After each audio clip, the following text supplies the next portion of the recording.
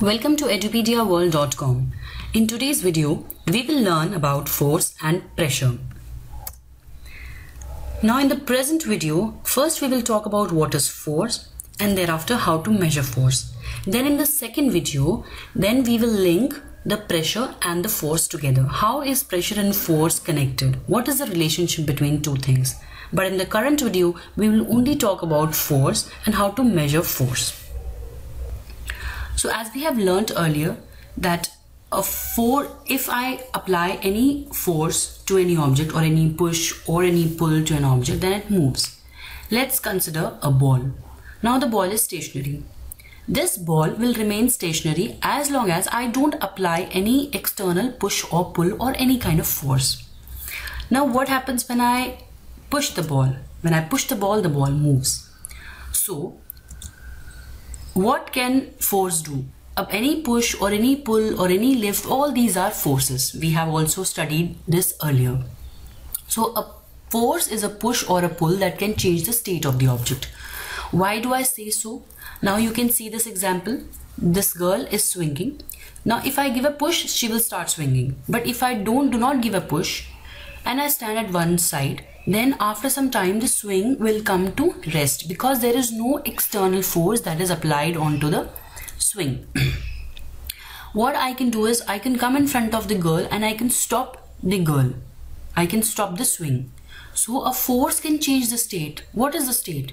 The swing was stationary before and then if I give a push it will start swinging. So now the state is changed. Initially it was stationary now it is moving if it is moving I can stop it by with my hand so again, a stationary swing is now made to come to rest because of force. So the state of any object or any body can be changed because of force. this also we have studied earlier and what all a force can do, a force can change the shape of the object. It can change the speed of the object. It can also change the direction of the object and it can stop an object. Now just one one example of each. How can we change the shape? if I have a ball and I squeeze the ball with my hand, then the shape is changing. The shape of the ball is changing because I'm applying a force. Initially it was round, now it has become slightly flattened. So this is how the shape of the ball is, the shape of the object is changed. Again, if I have a spring, what happens? If I pull the spring, the spring gets stretched. So again, the length of the spring is changed. So the shape is also again changed. Initially it was very small now it is stretched. If I have a rod a metal rod and if I can apply force and twist the rod then again it was straight initially now it is bent. So the shape of the rod is changed. Again in the third example you can see if I hammer an empty can then the empty can gets crushed so the shape is again changed. So force can do a lot of things. A force can change the shape of object any object. Then I can change the speed of the object. In what way can I change the speed of the object? if I you can see here two cyclists. One is cycling you know with less force and the other one is cycling very hard. He's applying a lot of force. So what happens? The, the person who's applying a lot of force his cycle will be ahead of the other person who's applying less force. So he is getting speed. By applying large amount of force he's speeding. He goes fast he reaches fast wherever he is reaching. So a force can change the speed of the object. Next the girl is playing hockey. What happens? If she applies less force the ball with the help of the stick goes to a very lesser distance wherever if she applies large amount of force if she hits the ball very hard then it travels a large distance a, low, much greater distance. So that's how any application of force can change the speed of the object. Now how how is that the direction is changing? You have all must have seen cricket match. What happens is the bowler will ball and it so the ball is coming from one direction on the other hand, what happens? A batsman uses his force and with the help of the bat, he's trying to hit the ball. So when he hits the ball, the ball goes in the other direction. That is in the any direction it can go. It can go opposite direction to what the bowler is throwing the ball. So in this way, the batsman is trying to change the direction of the object. Now, how can you stop an object by applying force? Now, you all must have seen football match. In that, what happens is the goalkeeper tries to stop the ball. So, what he does is he uses his hand and he applies force and he stops the ball. So, this is how we can all apply force to stop an object. So, uh, now what we have learned is the force can change the state of any object. Again, in what way? If I have an object, it is stationary on the ground, I can lift the object. So now, and I can move the object. I can lift and move the object. So this object was stationary, now a person is just lifting and it is, it is moving. So again, the state is changing. Now these examples are different from the examples that we have studied earlier. In that it is either stationary or it was moving. But in this case, if a person is just lifting and going, so it is not, uh, the object is still stationary because the person has lifted the object and it is moving. So this is also change in the state of the object. So it is not just push or pull which is a force but it is a pull, push, lift, hit uh, and what all can you say any any kind of force that you apply on any object which changes the state of the object is known as force now, first, we will uh, now learn as to how can we measure the force. We all know that uh, there are different things are measured in different uh, units. For example, look at the first picture. What we have liquid or water or milk. That is always measured in liters. What do we say when we go out and we buy the milk? We say give me 2 liters of milk. Right? in the second picture there are onions any like onions potatoes vegetables these are measured in kgs right? Because uh, these objects uh, they in that what is measured? Mass is measured. But in liquids volume is measured. So we talk about liquid uh, liters.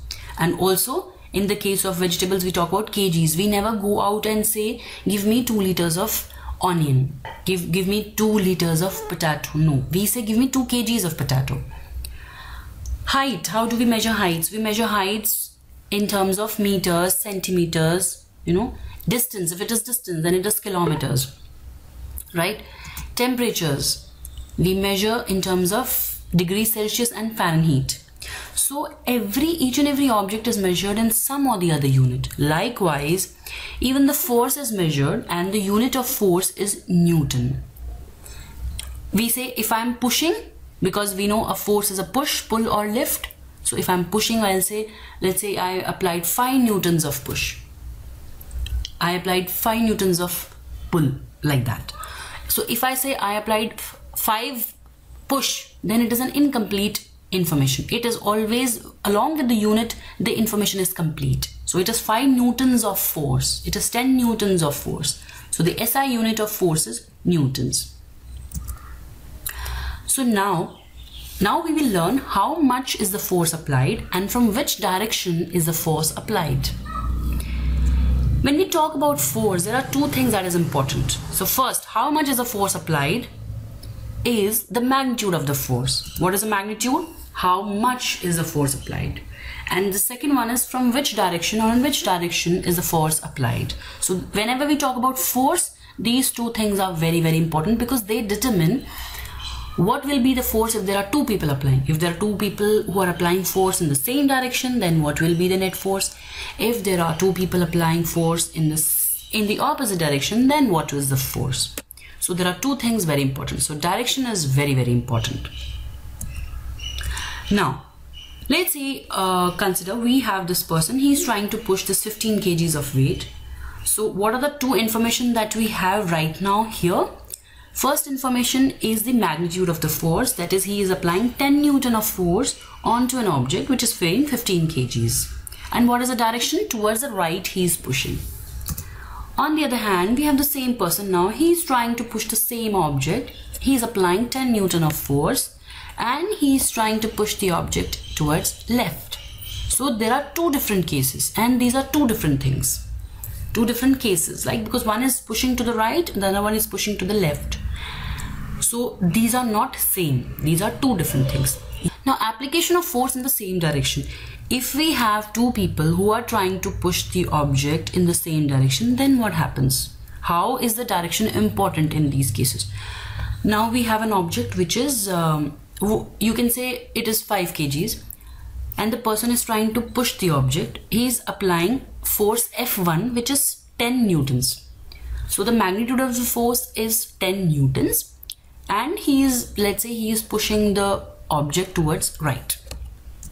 Now we have another person who's joining the same person and he, now he's applying a force let's say it is F2 and both of them are now trying to push the object towards right. So what will happen? One is applying 10 Newton of force and the other person is applying 20 Newton of force. So what will happen? What is the net force? Will the now you tell me will the object move easily or they they'll find it difficult to move the object?